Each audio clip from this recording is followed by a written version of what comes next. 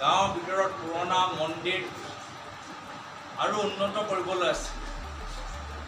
আৰু যিসকলে গাঁৱৰ ভিতৰত থাকে আমাৰ শিক্ষকসকলেই হওক আশাকৰ্মীখিনিয়ে হওক আংগনবাড়ী কৰ্মীখিনিয়ে হওক আজিও তেওঁলোকৰ বহুত সমস্যা আছে। এই সমস্যাবোৰ আমাক সমাধান কৰিব লাগিব। মাহমৰা সৰ্বোদয় পঞ্চায়তৰ বৰপথাৰ নামঘৰত যোৰহাট লোকসভা সমষ্টিৰ সাংসদ গৌৰৱ গগৈক বিপুল সম্বৰ্ধনা ৰাইজৰ।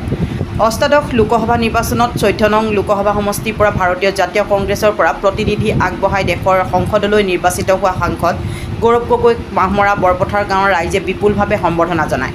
সাংসদ গৌৰৱ গগৈয়ে কয় চৰকাৰৰ ভুল সিদ্ধান্তৰ বাবে স্মাৰ্ট মিটাৰক লৈ বিপদত পৰিব লগা হৈছে ৰাইজ। ৰাজ্যৰ জনসাধাৰণৰ কাৰণে যথেষ্ট কৰিব লগা আছে সেইবাবে ৰাজ্যখনত কাম কৰিবলৈ ইচ্ছা আছে। বৰপথাৰ নামঘৰত অনুষ্ঠিত হোৱা সম্বৰ্ধনা অনুষ্ঠানত নামঘৰৰ পৰিচালনা সমিতি তথা বিভিন্ন অনুষ্ঠান প্ৰতিষ্ঠানেও নৱনিৰ্বাচিত সাংসদ গৌৰৱ গগৈক সম্বৰ্ধনা জনায়। অনুষ্ঠানত গৌৰৱ গগৈ ৰাজ্যখনৰ জনসাধাৰণৰ বাবে আৰু অধিক কাম কৰাৰ প্ৰয়োজন আছে বুলি উল্লেখ কৰে। অনুষ্ঠানত কেইবাগৰাকী কংগ্ৰেছ কৰ্মী তথা জিলা নেতা উপস্থিত থাকে। আজি পবিত্ৰ ভাদ মাহৰ ভিতৰত মই মাহামৰা অঞ্চলৰ বিভিন্ন নামঘৰত গৈ ৰাইজক মাত একাষাৰ দিছোঁ। নিৰ্বাচনত আমাক যথেষ্ট মৰম কৰিলে আৰু পৰৱৰ্তী সময়ত আমি ৰাইজৰ হৈ আমি কামখিনি কৰি যাম। আৰু গাঁৱৰ ভিতৰত যিখিনি সমস্যা আছে সেইবোৰ সমস্যাক আমি প্ৰাথমিকতা দিম। সেইখিনিয়ে কথা। আজি ৰাইজক আমি অৱগত কৰালোঁ। নাই এইটো চৰকাৰৰ বিফলতা। চৰকাৰে দুখীয়া ৰাইজক সুবিধা দিব লাগে।